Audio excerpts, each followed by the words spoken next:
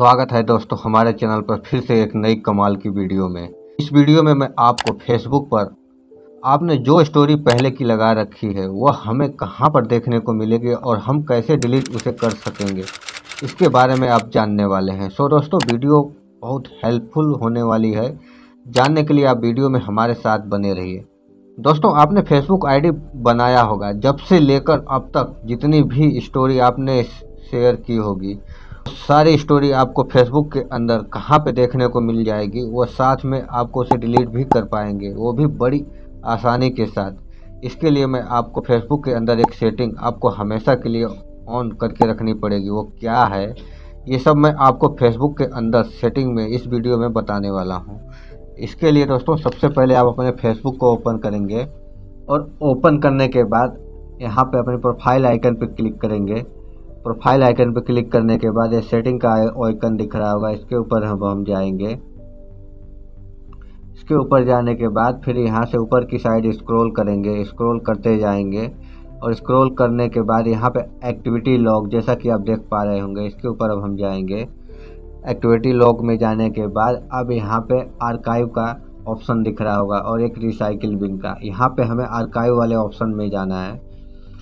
और आर्काइव वाले ऑप्शन में जाने के बाद, अब आपके सामने स्टोरी आर्काइव आपको देखने को मिल जाएगी। इसके ऊपर टैप करेंगे और टैप करने के बाद ये आप देख सकते हैं। आप जब से आईडी का अपने क्रिएट करे होंगे और अब तक इस, उसके बाद आपने जितनी भी स्टोरी आपने लगाई होगी, वो सारी स्टोरी यहाँ पे आपके फ़ोन के अंदर मिल जाएगी। लेकिन ये कब होगी? इसके लिए दोस्तों, आपको एक सेटिंग पहले आप, यहाँ पे मैं आपको दिखाता हूँ। यहाँ से।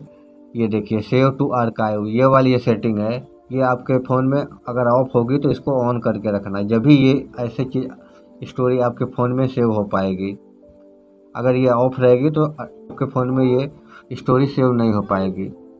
और इस फीचर का आप मज़ा भी नहीं ले पाएँगे। अब दोस्तों, अब यहाँ पे आप ये जितनी भी स्टोरी हैं आप इसे अब अपने प्रोफ़ाइल अपने यहाँ पे गैलरी में यहाँ से सीधे अपना यहाँ इसे डाउनलोड भी यहाँ से कर सकते हैं। अब जैसे यहाँ से ये ये वाली स्टोरी है, मैं यहाँ से ओपन करता हूँ। और ओपन करने के बाद अब आप यहाँ पे ऊपर की साइड थ्री डॉट देख सकते हैं, इसके ऊपर क्लिक करेंगे। तो यहाँ पे आप देख सकते हैं, यहाँ पे डिलीट को भी ऑप्शन आ रहा है और सेव वीडियो का भी ऑप्शन आ रहा है। अगर यहाँ से आप सेव करेंगे तो आप अपनी गैलरी में यहाँ से ये स्टोरी को बड़े आसानी से सेव भी कर सकते हैं। लेकिन हमें इसे यहाँ से डिलीट करना है। तो अब हम इसको, इसके ऊपर टैप करेंगे। तो यहाँ पर डिलीट का ऑप्शन दिखेगा। तो यहाँ से हम इसे डिलीट कर देंगे। और डिलीट करने के बाद ये आप देख सकते हैं, ये स्टोरी हमारे फ़ोन से यहाँ से हट गई।